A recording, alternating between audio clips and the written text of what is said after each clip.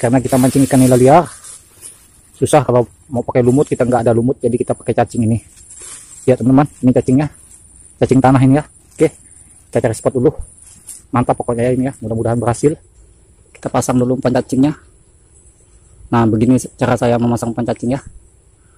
Oke kita sisakan sedikit. Biar ada gerak-geraknya cacingnya ya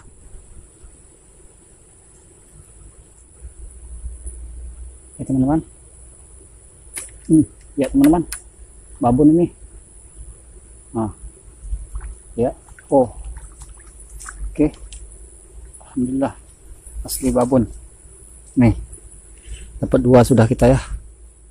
Oke